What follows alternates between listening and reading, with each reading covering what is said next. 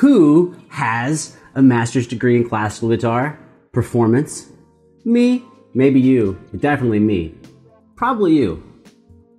But definitely me. So that's why I'm clicking this video because if you're a self-respecting classical guitarist, you've probably played a lot of Tarrega. I know I have. There are some some uh, just cornerstone composers of classical guitar, people who do lots of small pieces and studies and just wrote lots of shit from from beginner to expert level. Carcassi, Sor, Giuliani, Tarrega, um, Sor. Did I mention Sor? Probably did. Sor in there. And then you've got lots of people that write lots of uh, just crazy advanced pieces, uh, Albeniz and Barrios, and of course, you know, people that didn't write for guitar but have been transcribed like Bach. But Tarrega really is one of the founding composers of classical guitar. So I'm interested to see what the five levels of Tarrega are. I, I'm gonna have to guess, just without even thinking about it, that Capriccio, Capriccio's by Tarrega, right? Capriccio's gotta be by Tarrega. Sometimes I forget who composed this stuff, I get it mixed up in my head, but Capriccio's gotta be. And then Lagrima gotta be in there. I wonder if Adelita will be in there. Uh, oh, there might be a grand solo. I'm curious. Anyways, let's fucking go. forever. So I wanted to dedicate a video to whom I and many others consider to be the godfather of classical guitar. Hey. This iconic picture of Tarrega hangs in most guitar school rooms It's true. and inspires countless guitarists to dive into the magic of his pieces. Mm, no, I was never inspired by his picture. I heard other people playing his stuff and it was dope. I will play five of them in increasing difficulty. I was gonna play all five. I don't know if I want to, guys. I might skip a little bit. I don't necessarily want to hear him play the entirety of the pieces. In fact, I don't. I'm letting you know that right now. I'm not gonna listen to full compositions.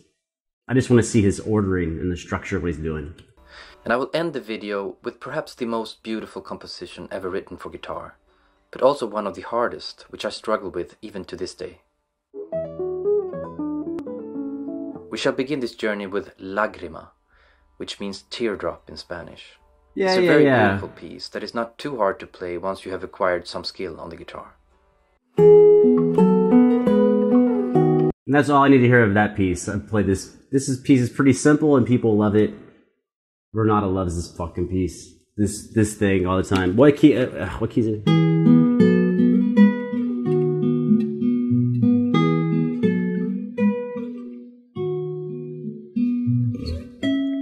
See, it does get a little like immediately right here. This is a little harder in the beginning.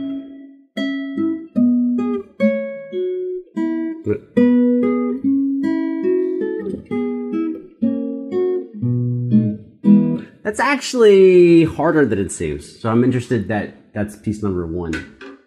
Because it's slow and it's pretty, people think it's pretty easy. It's definitely not very hard. But God, I don't know how. I mean, you go play it. The middle part's a little. Oh, not. Don't want to hear all this.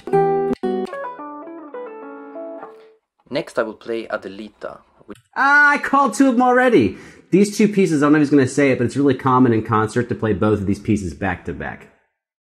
Because they're short and they kind of have the same tempo, they kind of work together, and people typically play them in that order. They play Lagrima and then Adelita back to back. Uh, and in fact, in the Parkening book, these two pieces are side by side. When you when you're on that section, one's on the left, one's on the right, and they're both one page. which is a great piece for developing There's one chord in here that is hard as fuck. It's hard as fuck. It's got this the bar with this quick ornamentation on it. It is definitely not easy. And most people that I get to, to try to play this piece as a study, that chord kicks everyone in the dick. Uh, and even a virtuoso player, Jason Vieaux, came to the university and we were all hanging out. And, uh, and he even said that he hates that chord and he's a virtuosic monster. your musicality. It may not have due to the ma-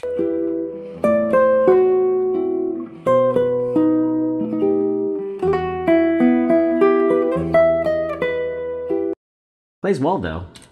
I just one of the orders, man. I'm sorry. I if you don't know these pieces, go back and watch them on your own time.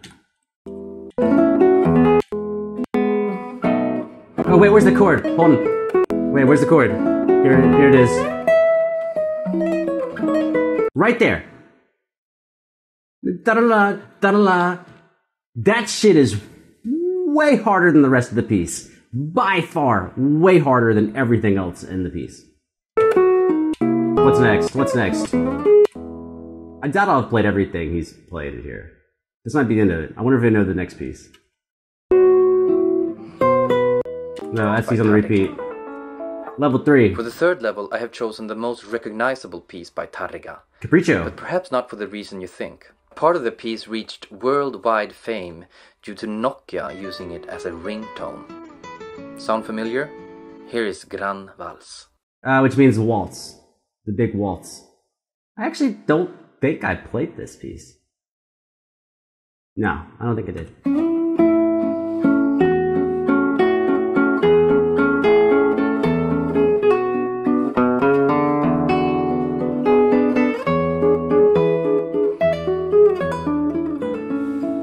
It's a good piece. That is a good piece. I yeah, I definitely never I've definitely never performed it. I might have played like a little bit of it just to see what it was like.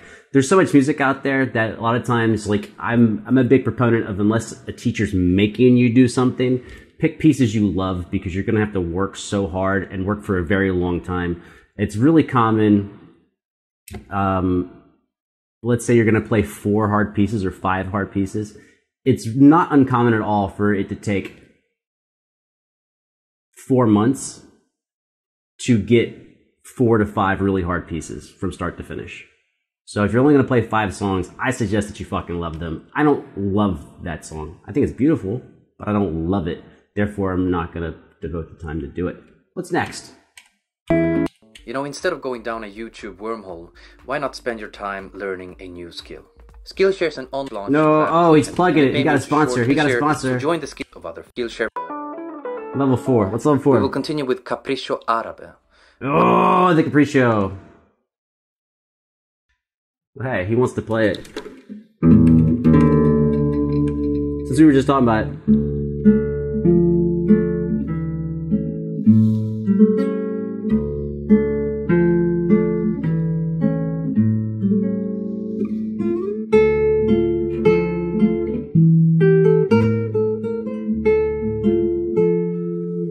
To hold the guitar with my left hand because I don't have a brace. I don't have a brace on it.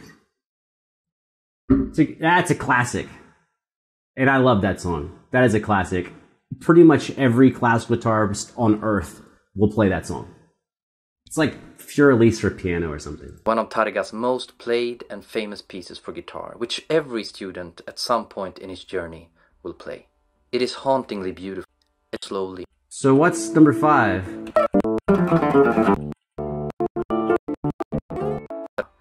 Which means Oh, Recuerdos! I disagree. I disagree. Recuerdos is only hard if you can't play tremolo. If you can play tremolo, it's just fucking tremolo. It's just a tremolo piece.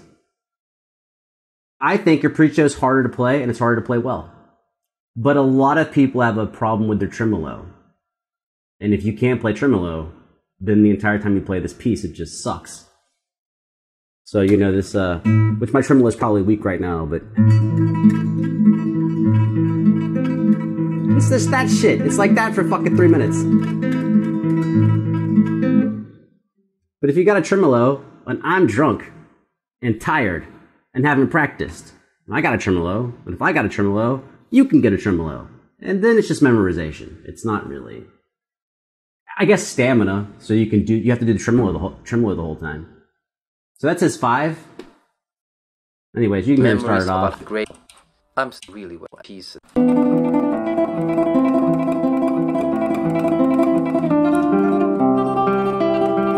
He has a he has a good tremolo. We were watching uh, somebody the other day who had a uh, kind of sloppy tremolo. Really good player, but the tremolo was kind of bad. This guy's tremolo is pretty good. I want to actually, it must be better than average. I want to hear a little bit more of his tremolo.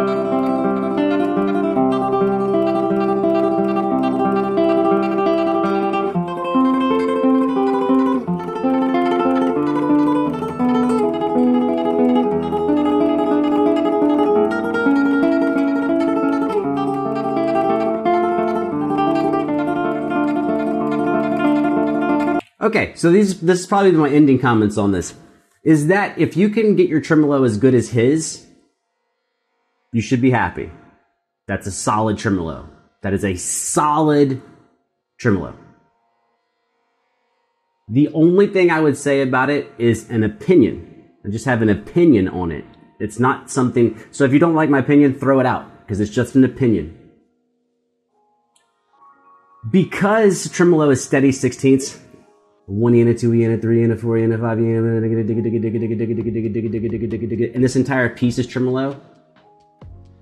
I am not really a big fan of keeping the speed the same throughout the piece because then it's just digga digga digga digga digga digga digga digga digga digga digga digga digga. It's pretty, but it's digga digga digga digga digga digga digga digga digga digga for the whole time. So I'm kind of a fan of slowing down and speeding up and slowing down and speeding up and finding places to do that a little bit.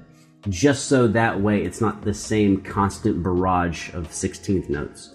But that's an opinion, and a lot of people would disagree. There are a lot of people who would say find the best tempo and maintain that one tempo throughout the entirety of the piece. Just a difference in opinion. I say change it. Plus, plus, the correct speed of this piece is pretty universal. There's a pretty solid window that everyone's going to play this speed in, like plus or minus 5%. Which means that if you nail it, you're really just going to sound like the other 100,000 guitarists who can play the piece.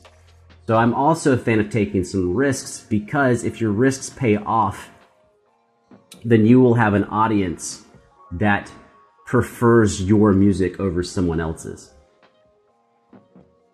Yes, some people will hate your decisions, but it gives an opportunity for you to be different and for people to like it. So right now, this guy sounds great. He sounds solid. He sounds awesome. If he had a PhD in classical guitar, I would not be surprised. He seems to know his shit and he seems to play very, very well. However, here's the issue. If I was going to listen to Recuerdos and he's keeping the speed constant and he's just playing it the way it's always played, then I'm not going to listen to him. I'm going to go listen to, you know, fucking Segovia or Williams or somebody else play it who's the best in the world. I'm only going to listen to him play it if he does something different that they don't do. That's the problem with playing classical music when there's like decades and decades of recordings that you can go back and listen to is that when you can listen to the best that have ever done it, why would you listen to someone else do it? That's my it's my own problem too. That's why you don't see me making a lot of classical guitar videos is because I'm like, why would someone choose to listen to me play it when they can go hear 10 other better versions? I need to do something different with it, which is challenging. It's challenging to take risks and have them pay off. It's also extremely fucking time consuming. Anyways, that's the video. This shit's done.